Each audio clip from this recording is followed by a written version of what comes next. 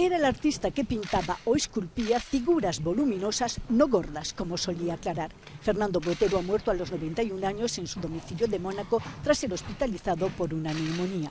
Natural de Medellín, este colombiano convirtió sus peculiares personajes en universales, pero no olvidó su ciudad a quien donó unas 200 obras.